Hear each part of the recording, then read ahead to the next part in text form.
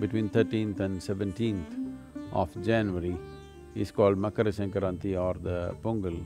In this Pongal, there are various types. There is what is called as Bhogi, which is celebrated, and uh, Lord Indra is supposed to be the god who brings rain and thunder and lightning.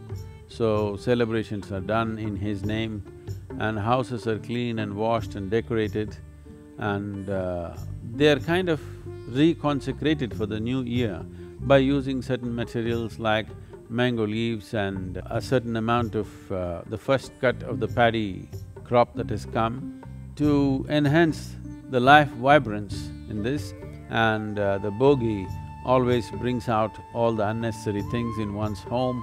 This should also be done with one's life, that uh, all the unnecessary things should be gotten rid of in this season so that life begins fresh. So this tradition has not only agricultural uh, uh, undertones to it, there is a celestial undertone to it and a spiritual undertone to it. And this is because the yogis practiced a certain thing, the common people took it up in a different way as it's relevant to themselves.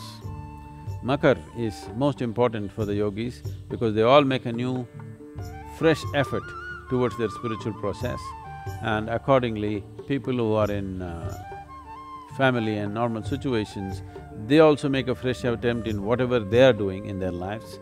So this is the beginning of a new cycle that we have completed, twenty-seven nakshatras or 108 padas around the sun and it's a new beginning and a new cycle. The Pongal celebrations itself are uh, broken into four forms.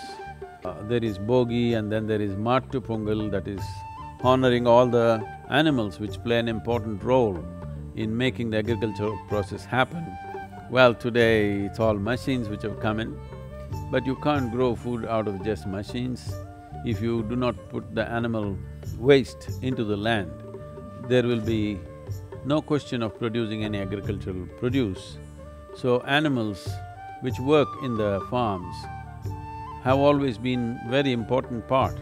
And uh, on this day, uh, the bulls and cows which uh, made the life of uh, pastoral communities are worshipped and they are decorated, they're painted up and all kinds of things are done to them in terms of, uh, you know, pampering them in so many different ways.